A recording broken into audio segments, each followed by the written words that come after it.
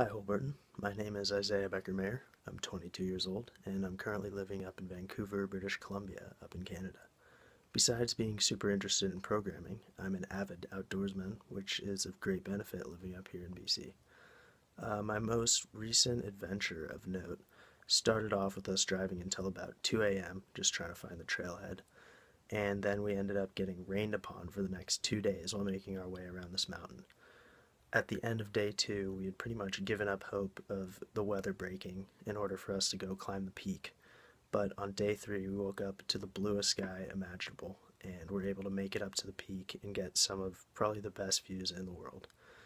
Uh, so that's kind of a little bit about me and what makes me tick, and hopefully, I'll get to tell you a bit more about my adventures in the near future. Thanks.